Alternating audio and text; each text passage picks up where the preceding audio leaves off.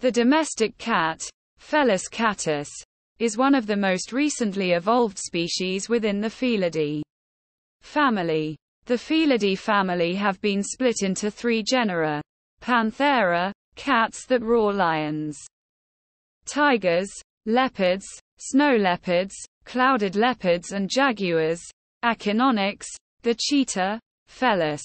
All other, small, cats. However, the classification of the Felidae family is difficult, in part because of the difficulty in distinguishing species by their phenotype and morphology they all look remarkably similar and, for example, it is extremely difficult for even trained experts to differentiate the skull of a lion from that of a tiger. More recent genetic investigations have suggested eight distinct clusterings or lineages within the Felidae family which could therefore form the basis of their reclassification in the future. All cats have evolved as predatory hunting mammals with particularly keen senses of hearing, sight and smell.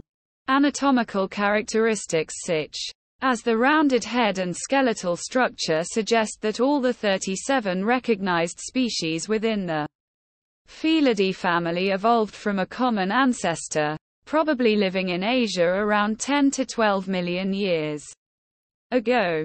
There has been a rapid expansion and diversity of the Felidae family during the past 10 to 11 million years and by 3 million years ago there was a wide variety of cats populating all regions of the Earth except the Arctic, Antarctic and Australia.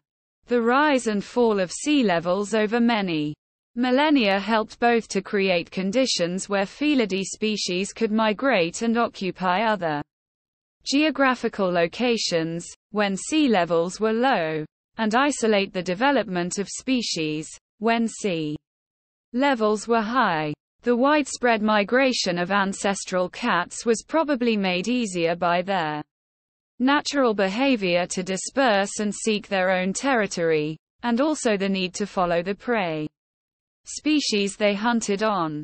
Felidae are the most highly developed carnivorous hunters of all mammalian species. With the exception of lions, which live in groups, all other wild cats have developed as solitary animals with the ability to hunt and fend for themselves.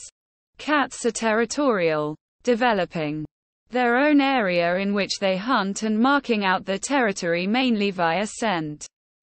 They come together mainly for mating. Again with the exception of lions, where males have a distinctive mane. The appearance of male and female cats is very similar. This nomenclature is still the most commonly used. Recent studies suggest that the domestic cat should really be regarded as a subspecies of the wildcat Felis sylvestris catus.